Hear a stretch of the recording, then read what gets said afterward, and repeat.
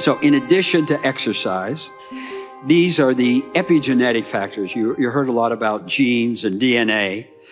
Epigenetic factors are those factors above the genes that tell your genes which proteins to make, as Dr. Roizen said. So if you eat a Big Mac infused with, with uh, uh, antibiotics and uh, hormones in a feedlot, and uh, order a trans fatty acids on your French fries and a bottle of phosphoric acid called Coke, uh, it's going to tell your, your genome to make inflammatory agents. What's the common cause of cancer, Alzheimer's, stroke, diabetes? It's inflammation. Whatever you can do to reduce inflammation, you're going to help with your longevity and your health span. The same with exercise and, and being careful of the water and how you drink and uh, organic versus non-organic and stress is, is neurotoxic to the brain. In contrast to a Mediterranean type diet, polyphenols, appropriate supplements, exercise, clean air, water, and, and a strong family unit is a very important thing. If you read Dan Buettner's book, Blue Zones, the common factor of all the centenarians that he studied is that these epigenetic factors are operant. Their diet is kind of a Mediterranean diet. They work hard.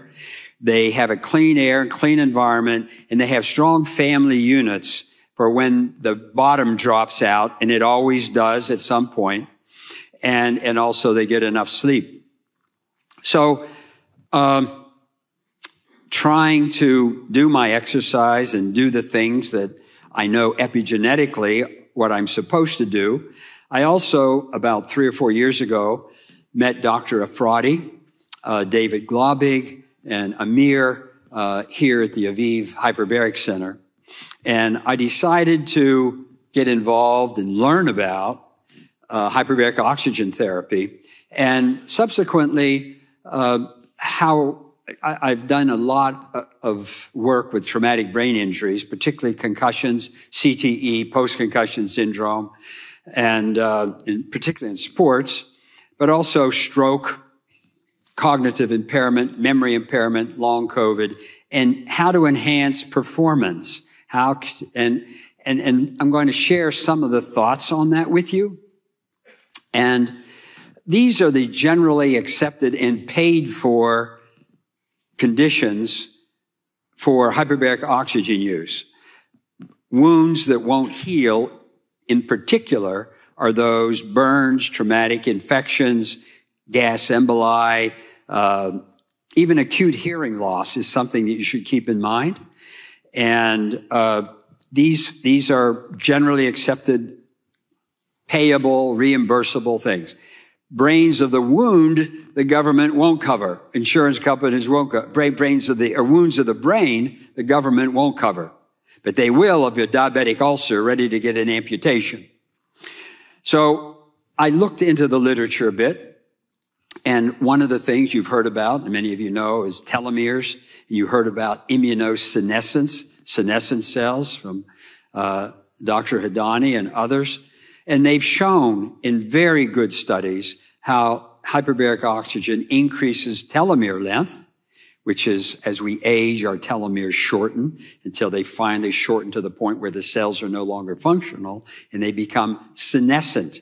And senescent cells spew out all sorts of cytokines and, and, and, and cytotoxins that uh, are deleterious to the body and brain. So they've shown that telomeres actually can be increased and elongated with hyperbaric oxygen therapy. And these are my telomeres uh, that I, I, I, went underwent 60 treatments, underwent 60 treatments of hyperbaric oxygen. And I'll show you uh, what I did before and after, but my telomeres were elongated by 100%. Now, you have to remember my age 100%, the delta for me is not going to be the same as somebody 22 years of age. But regardless, uh, it, it, clearly is a biomarker that one can look at in terms of effectiveness. For training and performance, uh, Amir Hadanny and Dr. Efrati and others did another study. They took middle-aged athletes and they gave them hyperbaric oxygen therapy, but beforehand, they did a whole lot of biomarker studies. They did a biopsy. They put a large needle into the buttock, the gluteus, the gluteus maximus of these athletes, biopsied the muscle, and then looked at the muscles for mitochondria. Mitochondria are the organelles in every cell of our body that makes energy, oxygen and glucose to make ATP. And what they found was there was mitochondrial biogenesis. Mitochondria actually became more proliferative and more active, meaning more energy, more effectiveness in terms of the uh, operations of, of every cell. And they also saw that not only they, they did uh, evaluations looking at cognition, their energy level, and general satisfaction, and you can see the improvement before and after uh, the use of hyperbaric oxygen in this healthy middle-aged group, and the uh, their cardiopulmonary function also significantly improved. So you know, is this something that elite athletes, if you get a one or 2% increase in your ability at a high or low level, it, it, can be very significant. So with this kind of information, I decided to be a, an experiment of one. And I, uh, I, I, went to the Aviv Center for three months and uh, every day, five days a week, two hours a day, I underwent dives, as they're called, or treatments. But beforehand, I measured my brain speed, my processing power, my memory. Uh, I had brain scans, my MRI, SPECT scans that Dr. Hadanny spoke about. And I also had various blood evaluations uh, in, in terms of my cardiorespiratory fitness and also did balance and flexibility tests. So I did all this before. And then post, uh, there was clearly an improvement in recall, improvement in my executive function, planning, organizing, mild improvement in attention, and mild improvement in processing speed. And all, all very nice. Clearly, it wasn't worse.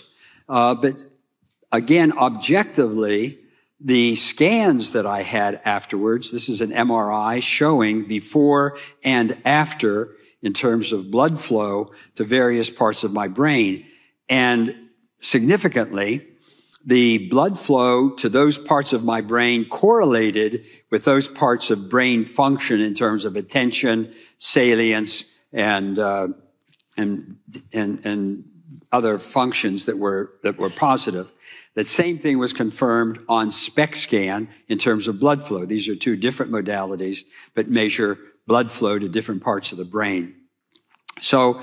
Uh, the other thing that we mentioned earlier was about inflammation, the common genesis of so many of the diseases of aging.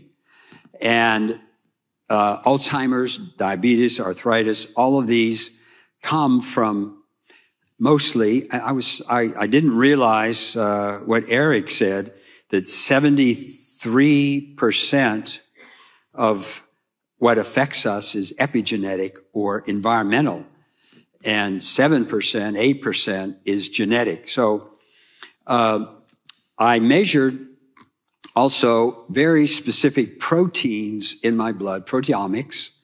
And at 40 dives, there was a precipitous drop in the inflammatory markers that are associated with inflammation. So again, it's not that I just feel better, but there was a major biomarker change that I couldn't control, indicating that the inflammatory process was less. And I actually published this in a peer reviewed journal, Frontiers in Neurology, the difference between zero and one, uh, and uh, the kind of my own personal experience and the results. And uh, the CPET is the cardiopulmonary exercise tests that were done. I got on a treadmill, breath with a mask, breathing, measuring my oxygen, anaerobic threshold and aerobic threshold, my VO2 max, and uh, post treatment. there was improvement in lung capacity, improvement in exercise endurance, and, uh, and actually some improvement in muscle strength.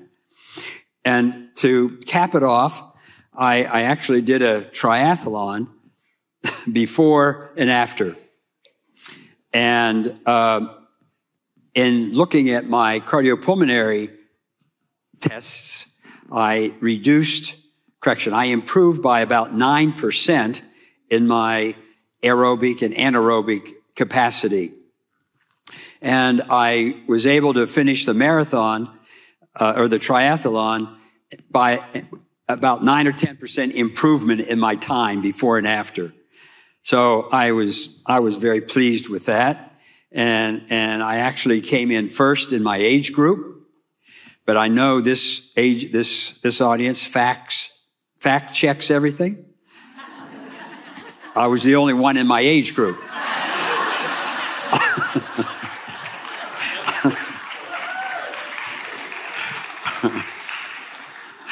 uh, and uh, last year, I competed in the senior games uh, in Fort Lauderdale and came in second. And the guy who won, I'm sure he lied about his age. uh, and then I, again, talking about peak performance at any age, one of my, one of my fondest and greatest experiences was uh, in August of 2022. I did the Chicago Triathlon uh, with my daughter, uh, who's 28 years old for the first time, uh, and she kicked my butt. But we both finished and uh, and had a great time, and it was a very family bonding experience.